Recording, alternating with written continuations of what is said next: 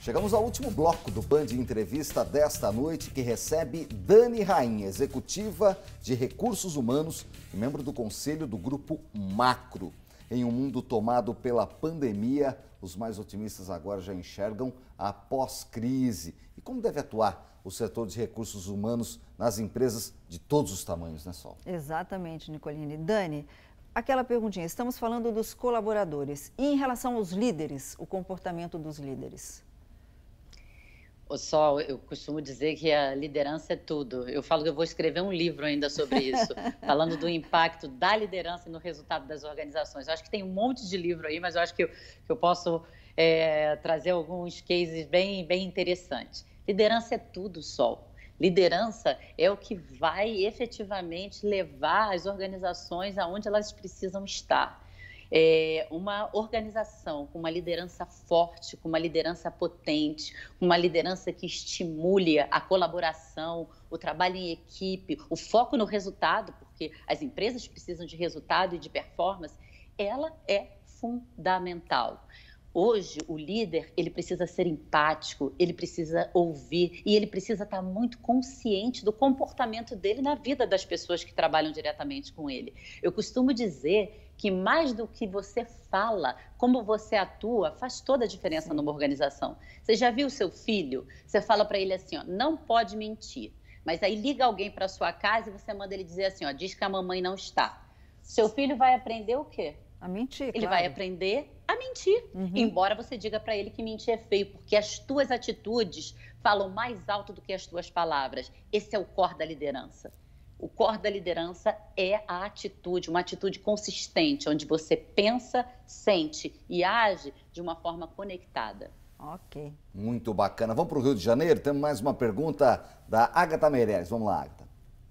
A crise da Covid-19 mostrou para a gente que é possível e necessário fazer um recrutamento, por exemplo, 100% digital. Isso deve continuar depois da pandemia? Olha, eu acredito que sim. É, eu acho que, que é um dado de realidade hoje. O trabalho digital está aí.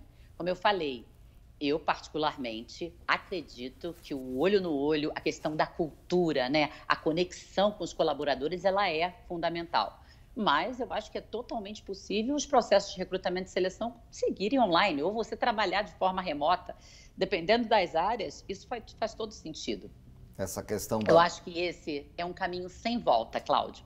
Questão de trabalho remoto, Isso. online, as tecnologias. Isso não tá vai voltar é um em vários setores, principalmente de escritórios. As empresas também trazem uma economia de escala com isso, né? Conseguindo espaços menores e, e muitas pessoas trabalhando da própria casa, né? É, o elemento cultural das organizações ele não é menos importante do que a estratégia. Eu costumo dizer que a cultura pode comer a estratégia no café da manhã. Então, você cuidar dos rituais de gestão, você cuidar é, da forma como o teu colaborador está conectado com essa organização, por isso que eu reforço que o papel da liderança é tão importante, ele é de extrema relevância para você manter uma cultura vencedora. E isso é fundamental. Mas o trabalho remoto, sem dúvida nenhuma, é um caminho sem volta. E dentro do trabalho remoto mudou também o perfil do colaborador, ou seja, que tem aquele colaborador que gosta de dar o chamado miguezinho no horário, não é verdade? Ele tem que apresentar o resultado, independente do horário que ele fizer, né, Dani? Mas por isso que essa é uma, uma virada de chave importante, né? Em vez da gente ficar gerenciando tarefa, a gente precisa gerenciar performance. Sim. Você precisa me entregar um determinado projeto. Você vai fazer isso de madrugada ou de manhã? A escolha é tua, eu quero o projeto pronto. Então, eu acho que essa é uma, é uma forma diferente de, de fazer gestão. É claro que existem níveis diferentes dentro da organização. Tem colaboradores, dependendo da função que ele está, ele precisa de uma supervisão mais direta e outros precisam de uma supervisão menos é, ostensiva. Mas eu acho que isso está muito baseado, só mais uma vez, na, no pilar da confiança. Sim é, na, na, na, na, conexão que você tem com a organização, se você acredita nos valores dessa organização, se você confia na liderança que está nessa empresa. Eu acho que isso é, é o que faz a diferença. Ok. Bom, nós agradecemos, Dani, a sua presença e orientações aqui no Band Entrevista. Até o nosso próximo encontro. Tá ótimo. Muito obrigada pela oportunidade. Boa noite. Obrigada, Valeu, boa noite. obrigado, até a próxima. A gente agradece também a participação da Agatha Meirelles, direto do Rio de Janeiro. Obrigado, Agatha.